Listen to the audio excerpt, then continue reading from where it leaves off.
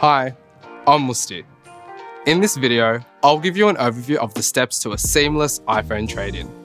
You'll back up your data, transfer your data to your new iPhone, and prepare your current iPhone to send in. Let's start by backing up your data with iCloud.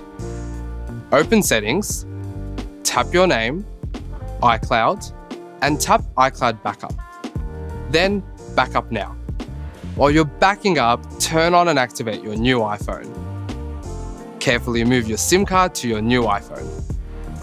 Next, you'll move your data over as well. Make sure your iCloud backup has completed.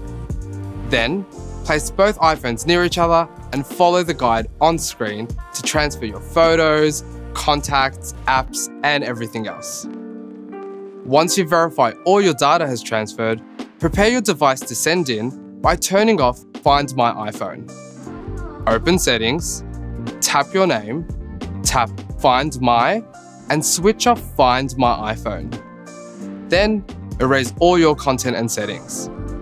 Open Settings, tap General, scroll down to transfer or reset iPhone, then erase all content and settings. Keep an eye on your email. We'll need some additional details from you, like if you want to drop off your device or schedule a courier pickup. Either way, you'll have 14 days to return it after your new iPhone is delivered.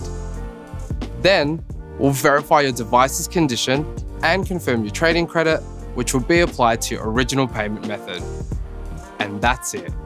If you have any questions, our team is always available in store, on the phone, or in chat.